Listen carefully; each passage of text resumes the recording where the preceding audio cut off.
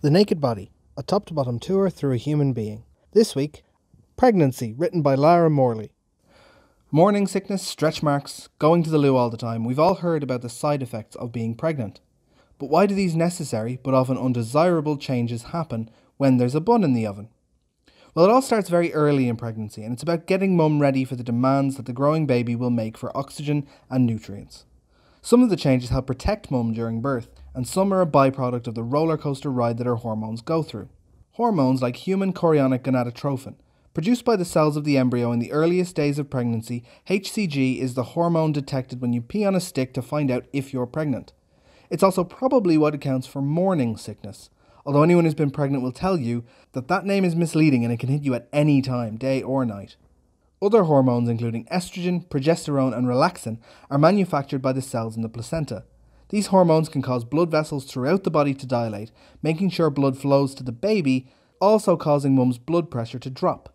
And that's why many women get dizzy or even faint, feel flushed, and even why they might get a bunged up nose.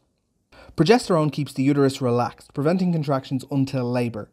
This also has a profound effect on the muscle layer lining the gut, making heartburn, indigestion, and constipation very common. Then there's the stretchy skin. After all, the growing bump has to have somewhere to go.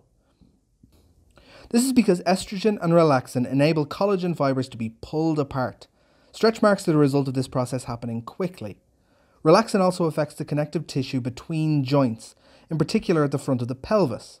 Coupled with the weight of the baby, it's hardly surprising that many expectant mums experience pelvic pain. And if all that's not enough, in late pregnancy, the size of the uterus means that the lungs have less room to breathe, but the diaphragm and chest muscles adapt to compensate, and so women take deeper breaths during pregnancy.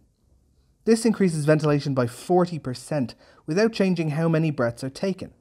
As a result, there are higher levels of oxygen in the blood, which promotes transfer of oxygen to the baby, but it also means that the majority of pregnant women feel breathless.